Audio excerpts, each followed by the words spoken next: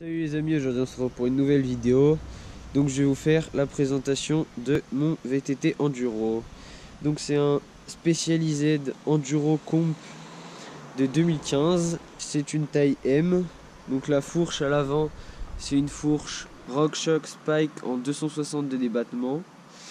L'amorto, donc l'amortisseur, c'est un amortisseur Fox Float en 160 de débattement aussi.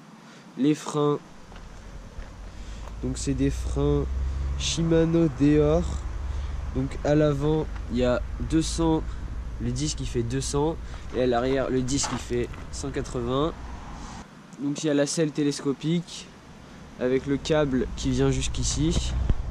Le câble de la selle télescopique, il a été rajouté. Il n'y était pas de base. Le cintre Spank, il n'y était pas de base non plus. Il fait 185 mm de large. Donc euh, la transmission, c'est une transmission Sunray avec une cassette Sunray de 11 vitesses. Le dérailleur, c'est un dérailleur GX avec un shifter GX. Les jantes, donc c'est des rondes jantes ZTR Flow X. C'est du 27 pouces et demi. Avec un moyeu Hope Pro 2.